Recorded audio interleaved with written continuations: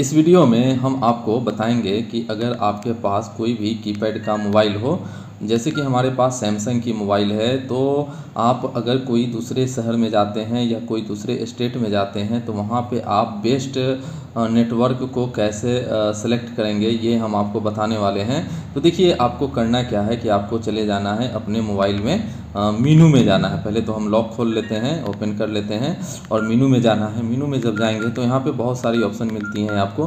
तो आपको चले जाना है सेटिंग्स में और जब सेटिंग्स में जाएँगे ना तो सेटिंग्स में जाने के बाद आपको यहाँ पे जाना है यहाँ पे नेटवर्क आपको दिखता है। तो नेटवर्क पे आपको क्लिक करना है। तो जब आप नेटवर्क पे क्लिक करेंगे तो यहाँ पे दो ऑप्शन आपको दिखाई देंगी ऑटोमेटिक और मैनुअल तो आपको करना क्या है कि अगर आप ऑटोमेटिक पर रहने देना चाहते हैं तो ऑटो ये सेलेक्ट कर लेगा बेस्ट नेटवर्क और अगर आप मैनुअल चाहते हैं कि आपके अगल बगल में नियर कौन सी बेस्ट नेटवर्क है, वो हम कनेक्ट कर लें दूसरे शहर में जब जाते हैं, दूसरे स्टेट में जाते हैं तो मैनुअल पर जैसे क्लिक करते हैं तो मैनुअल पर क्लिक करते हैं तो थोड़ा सा स्कैनिंग करने में आपके नियर जो भी नेटवर्क है, उसको स्कैनिंग करने में थोड़ा सा टाइम लगेगा।